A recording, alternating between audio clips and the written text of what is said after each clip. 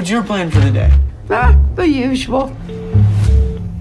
Hello? Grandma, Danny? You sound so strange. I'm in jail. Oh my God. Mail $10,000 to this address. $10,000. How did you think this was real? Mom, you thought it was real too. Oh my God. She was very convincing. Well, she was scared, I your was- mother. We were all scared. I wasn't quite as scared, just for the record. You gotta tell the police. They're no use. They contact people at random using telephone listings and social networking sites. Like Facebook?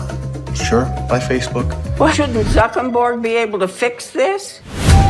What about my money? Am I supposed to just let them have it? I'm gonna get it back. I need a ride.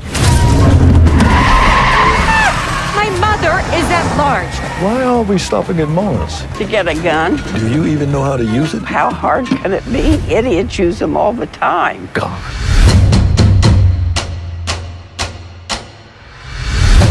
Things happen to people as they age. Weird, crazy things. We're old, diminished. The least we can do is take care of each other. She's a tough cookie. When she sets her mind to something, there's no stopping her. My grandson's parked a block away. I don't have much time. You left your grandson in the car? But he's 24. We all have our good days and our bad days. And what's today? We'll find out.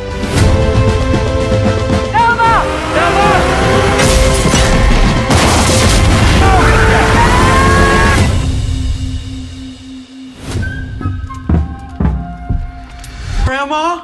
Hello? Hello. No, no, sorry, sorry. Uh, I'm just looking for my grandma. Sorry.